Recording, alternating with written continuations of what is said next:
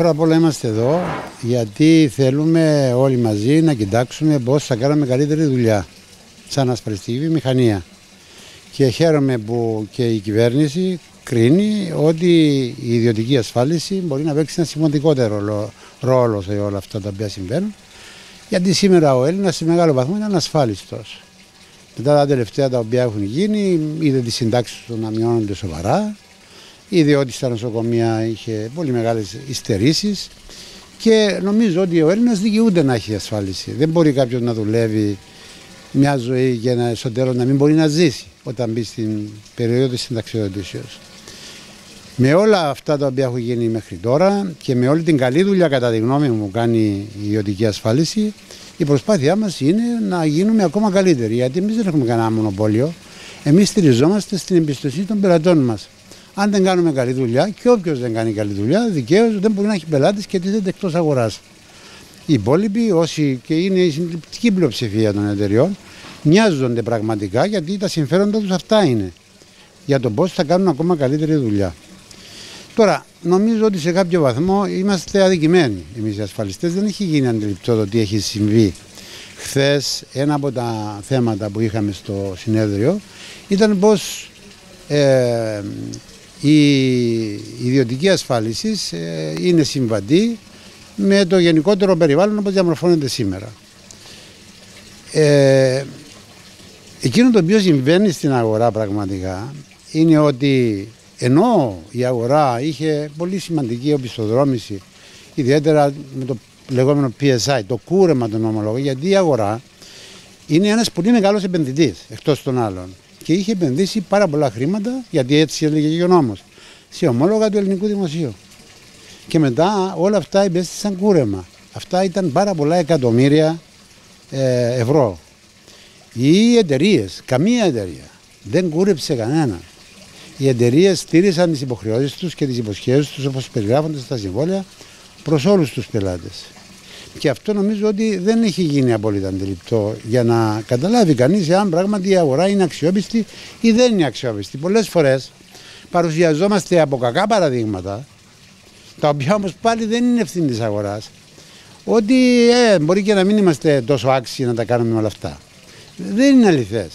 Οι ασφαλιστικές εταιρείες και η αγορά και η Ένωση δεν δίνουν άδεια, ούτε εποπτεύουν άλλες εταιρείες. Μάλιστα, δες σε ένα χαρακτηριστικό παράδειγμα της ασπίδος προνοίας, θυμάμαι ότι οι ασφαλιστικές εταιρείες επέμεναν να γίνει καλύτερος έλεγχος. Είχαμε όλοι πολύ μεγάλη ανησυχία με αυτό το πράγμα. Και αφέθη το πράγμα από τις ίδιες τις αρχές να εξελιχθεί όπως εξελίχθηκε. Και τώρα οι ασφαλιστικές εταιρείες πάλι, όπως έγινε και παλαιότερα, με, την, με μια εταιρεία που λεγόταν Μεσόγειος τότε, ήρθαν και πρώτον διεπίστωσαν ποια ήταν τα αποθεματικά Ακόμα και η ασφίδα πρόνοια έχει αποθεματικά. Τα δημόσια ταμεία πολλές φορές δεν έχουν καθόλου αποθεματικά και αυτό είναι πάρα πολύ ανησυχητικό. Αλλά είναι άδικο οι ασφαλιστικές εταιρείες να μην να αναγνωρίζετε ότι δουλεύουν έτσι. Θυμάμαι ότι και τότε και τώρα οι ασφαλιστικές εταιρείες το έχουν αυτό το πρόβλημα σαν δικό τους πρόβλημα. Και κοιτάνε πώς θα βοηθήσουν για να καλυφθούν τα κενά, πείθοντας τους μετόχους τους να βάλουν χρήματα όπως βάλαμε τότε και στην ε, Μεσόγειο και κατ' ουσίαν αυτά τα χρήματα φεύγουν από τον κλάδο.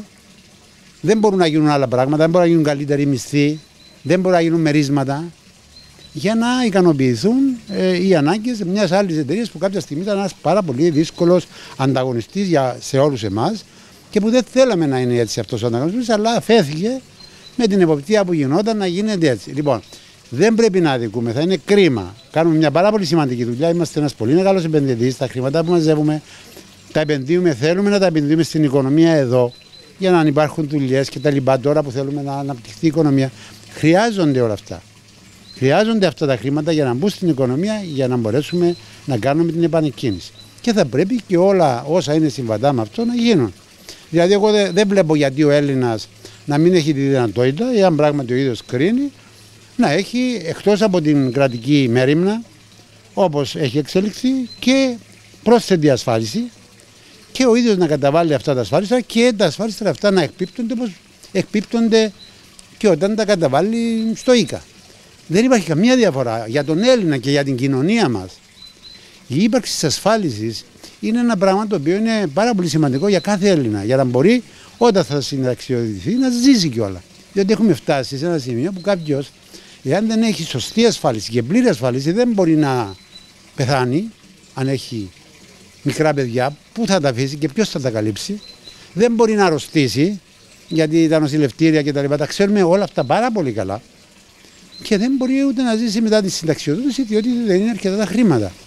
Η δουλειά μας λοιπόν είναι αυτή, να προσπαθήσουμε να γίνει ένας κόσμος ασφαλέστερος, να μπορεί ο Έλληνας με βάση και τις δικές του τις επιθυμίες να αντιμετωπίσει αυτούς τους κινδύνους που δεν μπορεί να αντιμετωπίσει μόνος του.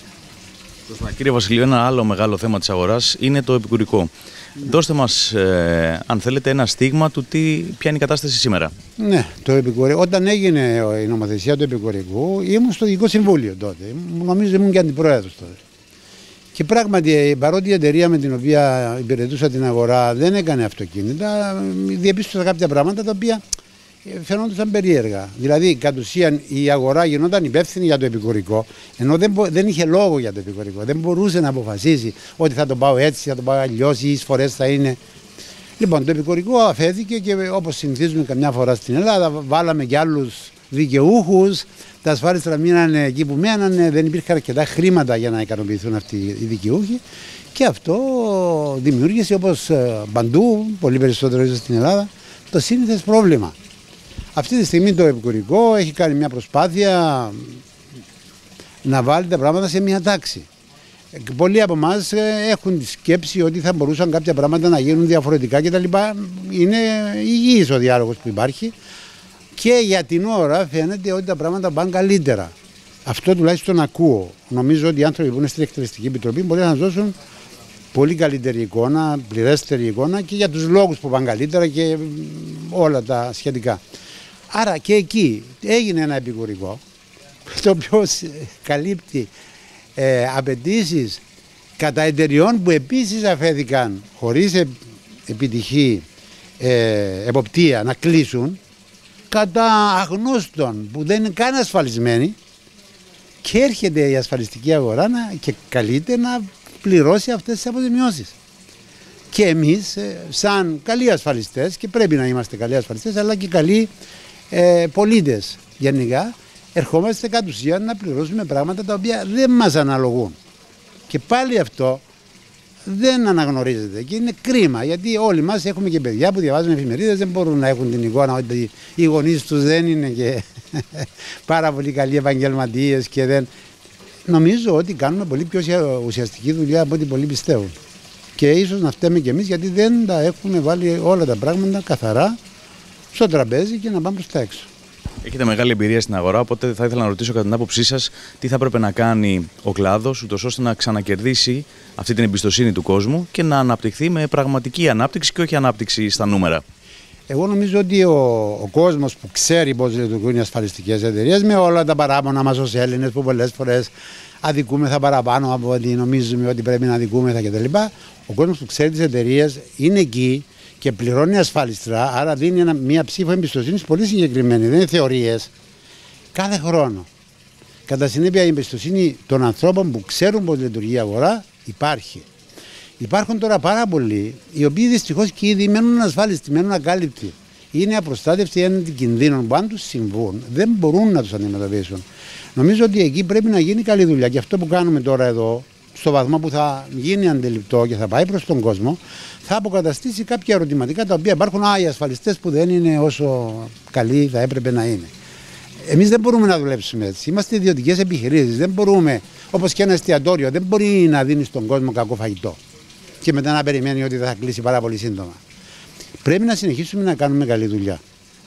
Και πρέπει να κάνουμε την ασφάλιση βατή πρέπει να έχουμε προϊόντα τα οποία να μπορεί να τα ε, αγοράσει ένας καταναλωτής και πρέπει τα δίκτυά μας να είναι σωστά, επαγγελματικά, αξιόπιστα πάνω απ' όλα για να μπορέσουν να μεταφέρουν τα μηνύματα και να μπορέσουν να είναι πιστικά.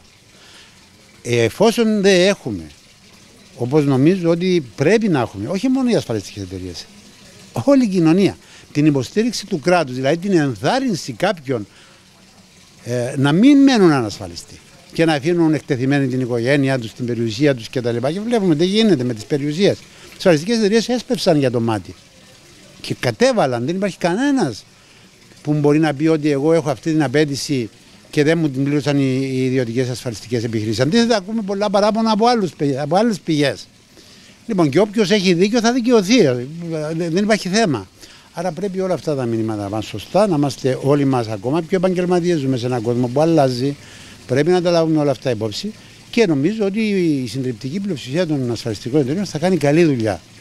Γιατί πρέπει να κάνει καλή δουλειά, γιατί για αυτές είναι όρος επιβίωσης τη καλή δουλειά. Δεν πρόκειται να αποφασίζουν μόνο τους ακουρεύω τις παροχές ή να αποφασίζουν μόνο τους αυξάνουν τα ασφάλιστρα. Δεν γίνονται αυτά τα πράγματα. Στι ασφαλιστικές επιχειρήσεις τα πράγματα είναι αλλιώτικα. Υπάρχει ανταγωνισμός και όλοι ξέρουμε ότι πρέπει να κάνουμε καλή δουλειά και όποιος δεν κάνει καλή δουλειά, εγώ λέω δικαίως, τίθεται εκτός αγοράς. Πολλοί λένε ότι έχει αλλάξει το κλίμα στην οικονομία της χώρας. Βλέπετε μια τέτοια αλλαγή ή τη βλέπετε να έρχεται; Εγώ πιστεύω ότι η νέα κυβέρνηση, η οποία πήρε και ένα αντίστοιχο, μια αντίστοιχη εντολή από τον λαό και η οποία κατά τη γνώμη μου είπε πάρα πολύ ξεκάθαρα πριν τις εκλογές τι θέλει να κάνει, βρίσκεται στη διαδικασία και σε κάποιες περιπτώσεις πολύ πιο γρήγορα από ό,τι συνηθίζαμε στο παρελθόν να κάνει αυτά που είπε. Αυτά από μόνα τους δημιουργούν βεβαίως ένα άλλο κλίμα και δημιουργούν μια μεγαλύτερη σχέση εμπιστοσύνης όταν η κυβέρνηση ε, πριν τις εκλογές, η αντιπολίτευση πριν τις εκλογές λέει πολλά πράγματα και στο τέλος δεν τα κάνει. Αρχίζει ο κόσμος και λέει τώρα έτσι μας τα είπαν αυτά. Πράγμα το οποίο είναι πάρα πολύ κακό. Βλέπουμε λοιπόν ότι μέχρι στιγμής γίνεται μια σημαντική προσπάθεια στο εσωτερικό και επίσης βλέπουμε ότι γίνεται μια προσπάθεια στο εξωτερικό όσον αφορά τις σχέσεις που έχουμε με όλους τους εταίρους μας, γιατί ζούμε σε έναν κόσμο με συγκοινωνούν τα δοχεία, δεν μπορούμε μόνοι να τα κάνουμε πράγματα. Και νομίζω ότι αν συνεχίσουμε έτσι, όλοι μαζί σαν Ελλάδα, διότι όλοι μαζί, δεν μπορεί μόνος στο Πρωθυπουργός ο Καημένος να τα κάνει όλα, ούτε το Υπουργικό Συμβούλιο. Πρέπει, εάν θέλουμε η Ελλάδα να γίνει καλύτερη, πρέπει ο κάθε ένας από εμάς αύριο να είναι καλύτερος από σήμερα. Άρα πρέπει όλοι μαζί να προσπαθήσουμε. Είναι πάρα πολύ σημαντικό που η κυβέρνηση δημιουργεί το πλαίσιο εντός του οποίου κινούμεθα και ε, δεν δημιουργεί εμπόδια που πολλές φορές δημιουργούνται κτλ. Αλλά πρέπει και εμείς να κάνουμε αυτό που πρέπει να κάνουμε για τα παιδιά μας και κάποιοι από εμάς για τα εγγόνια μας.